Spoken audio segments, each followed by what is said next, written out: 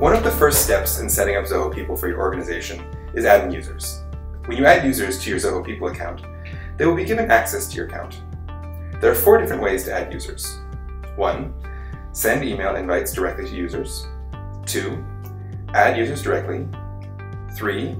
Import users in bulk. Or 4. Synchronize users from other apps. The fourth option will be covered in the next video. Here, we'll be discussing the first three. To begin, click on the Settings option in the left bottom corner of your screen. Inside Settings, you'll find the Users option under Employees. Let's start with inviting users first. To invite users to your account, click on the Add button. From the drop-down menu, simply choose Invite User and fill in the mandatory fields like employee ID, name, and email address. Once you click on Invite, users will receive an email inviting them to join your Zoho People account. They will be given a default password, which they will change when they log in for the first time. Until they accept your invitation, they will be listed as an inactive user.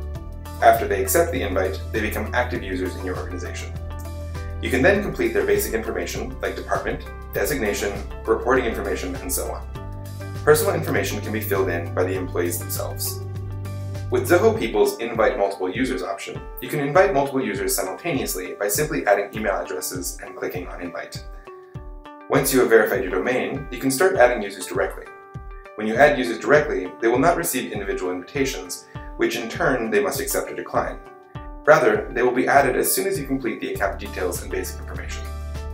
You can add multiple users at the same time with our Add Multiple Users Directly option. Finally, the Import Users option allows you to import users in bulk by uploading a file with all necessary information in one of the formats we support.